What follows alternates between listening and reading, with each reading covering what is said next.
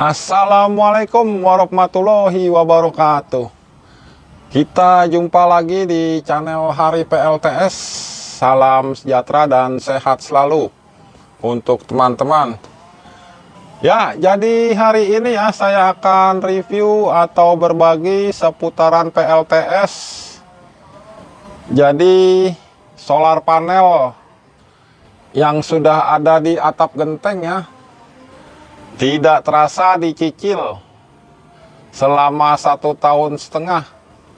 Sudah mencapai 2700 WP nah jadi yang besar ini ya yang masih baru ya.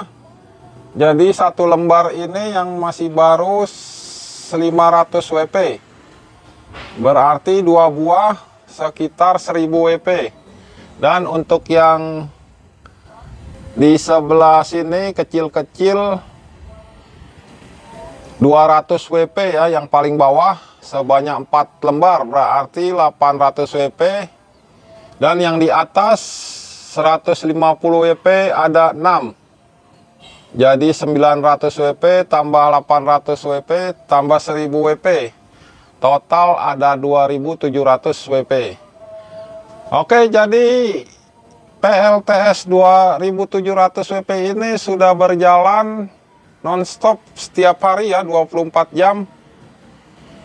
Dan bagaimana cara penyambungan solar panel sistem seri paralelnya kita akan bahas di hari ini. Oke jadi jangan lupa untuk yang baru bergabung menekan tombol subscribe dan menyalakan loncengnya agar mendapat video-video terbaru. Oke, jadi awalnya ya sudah dua tahun eh, satu tahun setengah. Yang pertama kita membeli tiga lembar panel surya sebesar 150 WP. Yang sebelah kiri ya, jadi awal-awal pertama hanya percobaan dan bereksperimen dan setelah itu tiga bulan empat bulan menambah lagi tiga lembar yaitu 150 WP dan selama 8 bulan kita nambah lagi per dua lembar dua lembar. Jadi lama-lama terkumpul ya. Terkumpul sekitar 2700 WP dalam satu tahun setengah. Nah, jadi hasilnya seperti ini. Oke kita lanjut sistem pemasangannya. Dari perakitan solar panel di atap genteng ini. Jadi yang atas 150 WP ada 6 lembar. Kita pasang 3S 2P jadi artinya 3 di seri. Yang sebelah kiri dan yang kanan 3 seri juga. Baru kita paralel outputnya. Jadi menghasilkan atau sistem 3S 2P 3 seri 2 paralel. Dan yang bawah ya yang bawah ada 4 lembar yaitu 200 WP ya. 200 WP yang bawah ini mereknya yang sebelah sini Mason dan yang sebelah sana ST ya. Yang atas juga ST yang sebelah kiri sana saya lupa ya. Ini uh, kurang bagus ada seperti bercaknya juga. Jadi yang bawah kita rangkai 2S 2P jadi dua seri, dua paralel. Nah, masing-masing nah, output yang atas dan bawah di paralel. Jadi solar panel ini menghasilkan 900 WP tambah 800 WP berarti 1700 totalnya. Nah, kenapa di seri dan paralel? Jadi karena kita memakai MPPT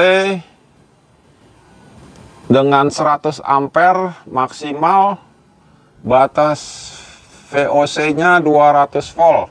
Nah, jadi kita agar tercapai watt, watt peak nya ya mendapat tegangan besar dan arus lumayan besar juga. Jadi saat ini mencapai 120 volt dengan kalau cuaca bagus mendapat sampai 20 ampere. Ya, kita lanjut dengan solar panel yang berikutnya.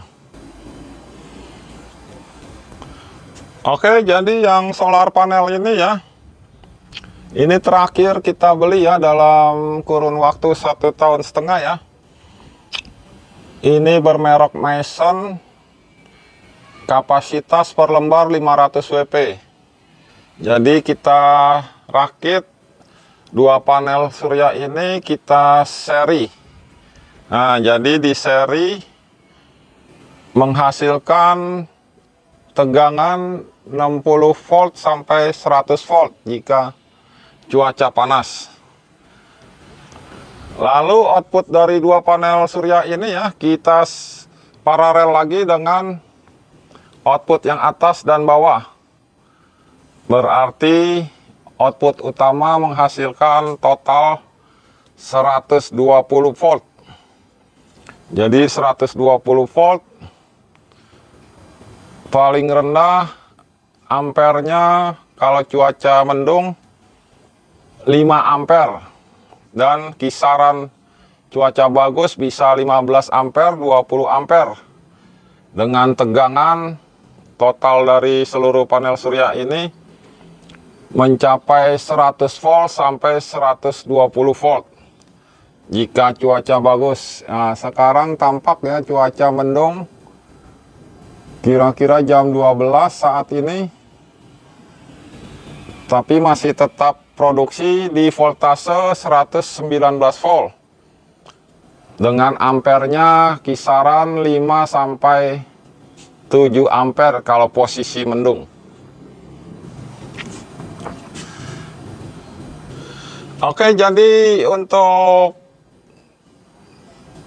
PLTS ini ya atau panel surya ini harga lumayan mahal ya atau sampai saat ini harga mahal makanya saya mencicil dalam satu setengah tahun bisa terkumpul jadi perkiraan ya panel surya yang 500 WP ya per lembar ini satu piece bisa mencapai 2 juta setengah sampai 3 juta. Kira-kira harganya seperti itu berarti dua lembar bisa 6 juta.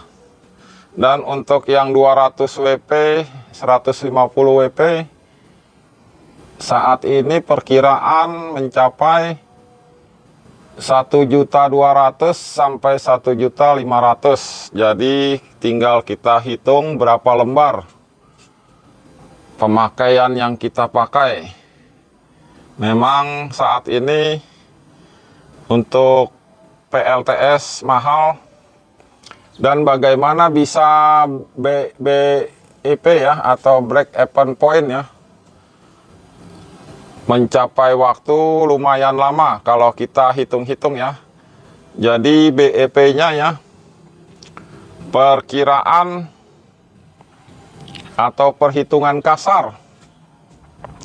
Saat ini listrik sudah per bulan ya bayarannya ya. Jadi yang dipakai daya 2200 total membayar per bulan bisa 1 juta sampai 1 juta 200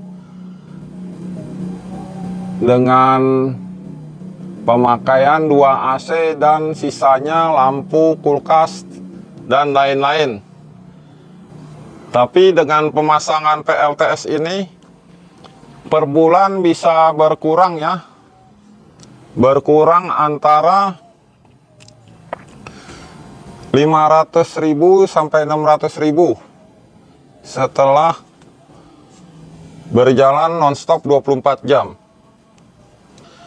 Jadi perhitungan kasarnya ya, eh, kira-kira seumpama kita bayar listrik berkurang 500.000 berarti dalam 10 bulan sudah 5 juta ya Nah 5 juta dalam dalam 10 bulan. Berarti sudah dua lembar ini BIP nah jadi secara kasar BIP nya seperti itu. Dan 10 bulan lagi mungkin bisa kembali modal tiga lembar atau empat lembar yang atas. Jadi hitungan break even pointnya kira-kira seperti itu. Ya jadi sharing atau berbaginya ya sampai di sini. Seputaran PLTS atau panel surya di atas genteng dengan cara mencicil ya. Jadi tidak terasa dalam satu setengah tahun sudah terkumpul 2700 WP semoga bermanfaat untuk teman-teman semua. Wassalamualaikum warahmatullahi wabarakatuh